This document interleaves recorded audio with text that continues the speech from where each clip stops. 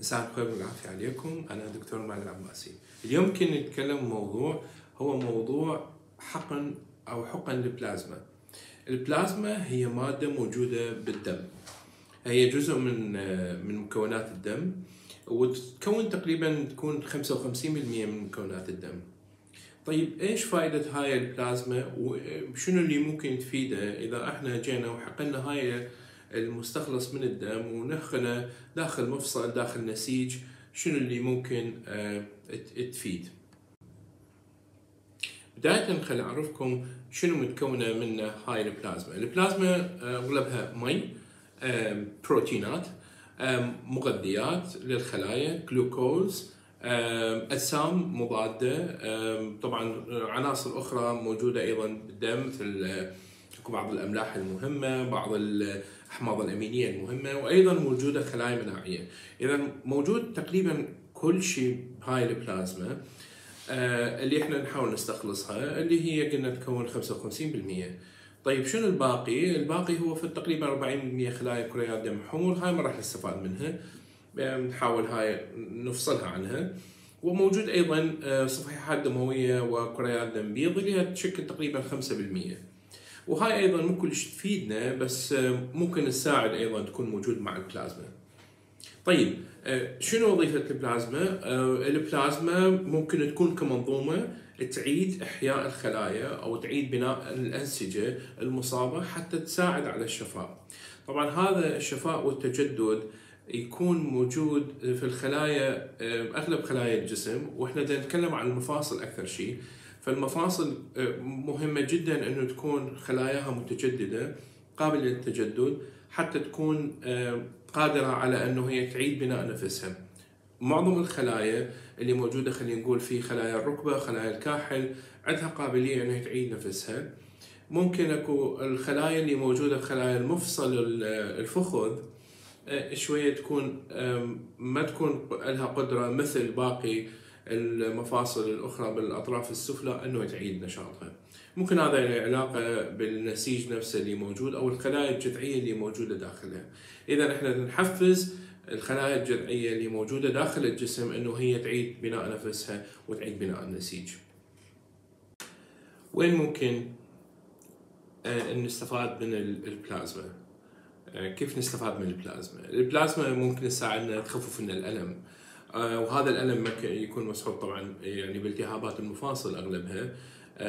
بعضها التهابات المفاصل العظمي أو العظم المفصلي.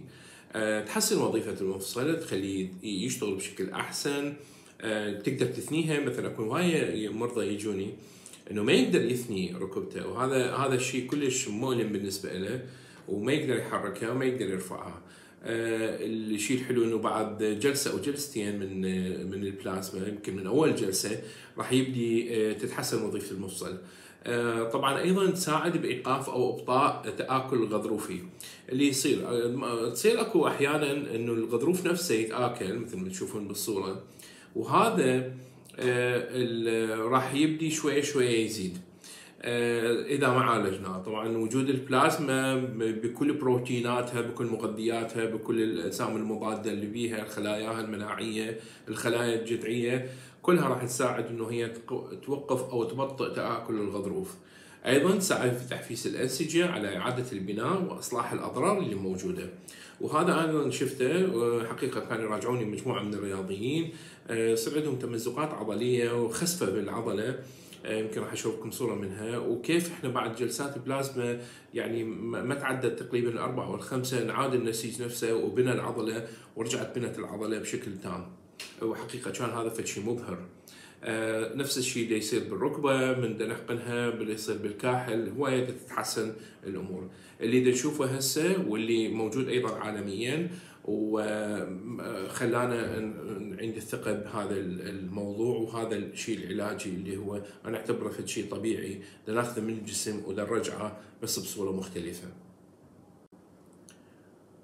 منو ممكن يستفاد من البلازما؟ الناس اللي عندهم خشونة مبكرة بالركبة ممكن يستفادون. آه، المصابين بالتهاب أوتار مفاصل الركبة والكاحل كلش ممكن يستفادون إصابات الغضاريف الهلالية الشوكه العظميه اللي تصير بالقدم خشونة مفصل الحوض مرفق التنس ومرفق الجولف اللي دائما مصحوب إنه يعني نتيجة أعمال أو أعمال منزلية. الناس المصابين بهشاشة عظام آه، أيضا ممكن يستفادوا منها لأن ممكن يحفز الشفاء. الناس اللي عندهم تمزقات عضلية عندهم خسفات بالعضلات أيضا ممكن يستفادون.